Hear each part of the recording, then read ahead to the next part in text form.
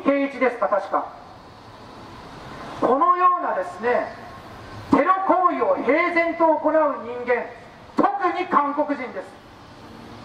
平然と行うような人間が今我々のすぐ隣に住んでいるんだということを強く訴えかけるために今日はこの市ヶ谷を選ばせていただきました。市ヶ谷駅でね今日黙って聞かれてる皆さんそちらの皆さんもそうです。私がね物騒なことを言ってると思うんであるならば自分の手で調べることです。私はね間違ったことは何も言っておりません。事実しか言ってないんです。このね今の日本本当にね本当に危険極まりないテロリストが横行しております。今我々は不干渉になってるんですよ。みんな不干渉です。テロリテロリズムに対してねテロはいけないね。やっぱりやっちゃいけない。いやテロをやったらかわいそうじゃないか。人事のように思ってる人が大多数です。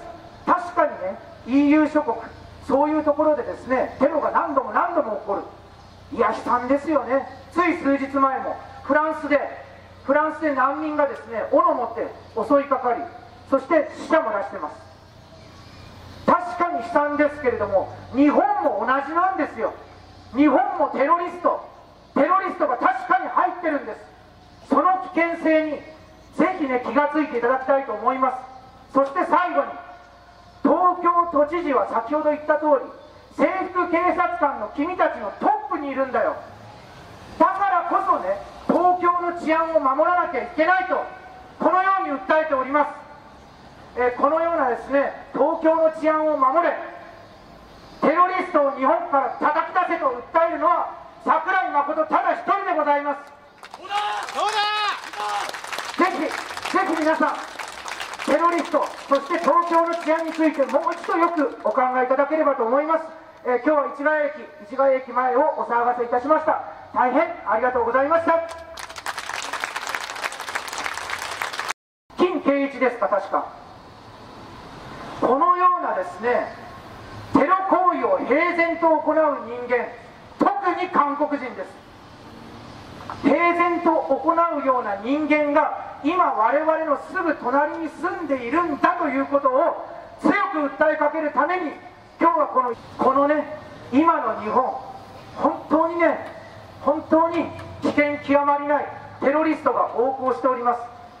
今我々は不干渉になってるんですよ。みんな不干渉です。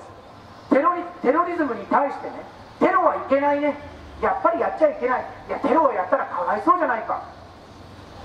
のように思ってる人が大多数です。確かにね EU 諸国そういうところでですねテロが何度も何度も起こる。いや悲惨ですよね。つい数日前もフランスでフランスで難民がですね斧を持って襲いかかりそして死者も出してます。確かに悲惨ですけれども日本も同じなんですよ。日本もテロリスト。テロリストが確かに入ってるんです。その危険性にぜひね気がついていただきたいと思います。そして最後に東京都知事は先ほど言った通り制服警察官の君たちのトップにいるんだよ。だからこそね東京の市ヶ谷を選ばせていただきました。市ヶ谷駅でね今日黙って聞かれてる皆さん。そちらの皆さんもそうです。私がね物騒なことを言ってると思うんであるならば自分の手で調べることです。私はね間違ったことは何も言っておりません。事実しか言ってないんです。